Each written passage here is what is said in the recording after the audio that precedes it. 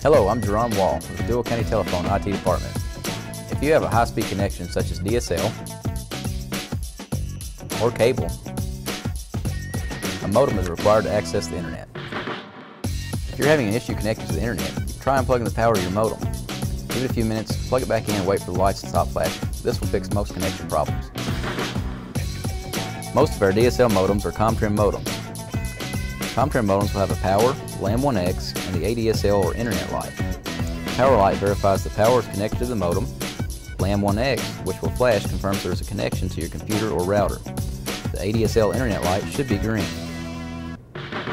If the alarm light is red or the Internet light is blinking at a rapid pace, then you need to contact Duo County Telephone so we can resolve your problem.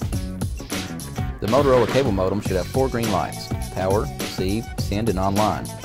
One amber light for PC activity. The power light verifies power is connected to the modem. The receive and send lights verify signal is being sent to and returned by the modem. PC activity light confirms there is a connection to your computer or router.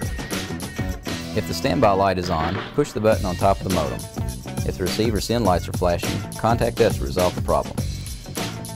If you have any questions about this video, feel free to give us a call.